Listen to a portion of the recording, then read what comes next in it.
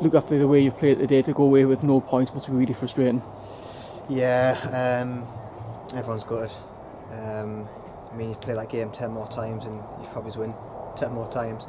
Um, it's you, you've got to take the positives, positives from it, but at the minute it's quite quite hard to do that. Um, obviously, the way the game's gone and and like I say, the strike he's he's he's hit to make it two one. It was um, it was devastating, but like I say, we're trying to take the positives out of it. Yeah. So many moments in front of the goal didn't quite go away. Good saves, unfortunate bobbles just didn't quite fall for us, did it?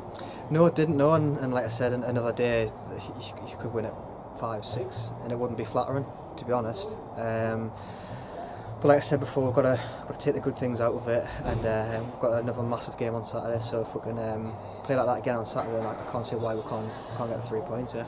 In terms of the way of playing, the philosophy, does that almost strengthen you as well? That way that you played today. Yeah, yeah. Um, I think me and Ken's got in the pockets early doors and it made made some um, made it hard for them.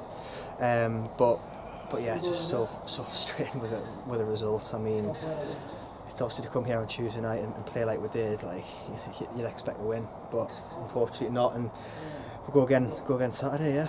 Well, some people look at it and say that it's another away game that got away from us. You must go away from here with a real positive sort of mindset to, to take forward yeah, as well. it's, it's another game that's got away from us, but we've just said in there if we, like, if we play like that every week, then we'll be right up there.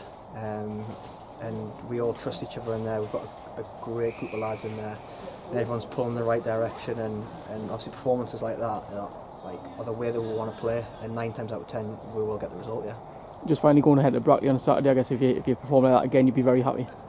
100% yeah. As long as uh, as long as the performance is up there then like law of averages. You, you, you're going to win more than you lose aren't you? Um, but yeah we've got to like I say we've got to pick ourselves up and recover uh, Thursday train Friday and then and then obviously we've got a long journey down to, to Brackley but it's tough, yeah, it is tough at the minute, but it's if we play like that, say if we play like that every every week, then I think we'll be right up there, yeah.